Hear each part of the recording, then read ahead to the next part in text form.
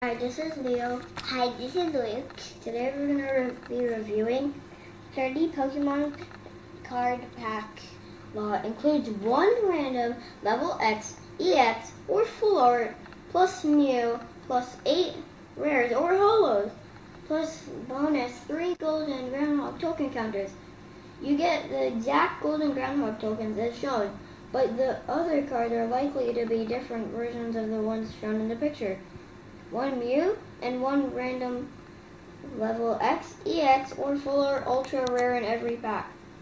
A mix of eight cards will be holo rares, rares, and reverse foils.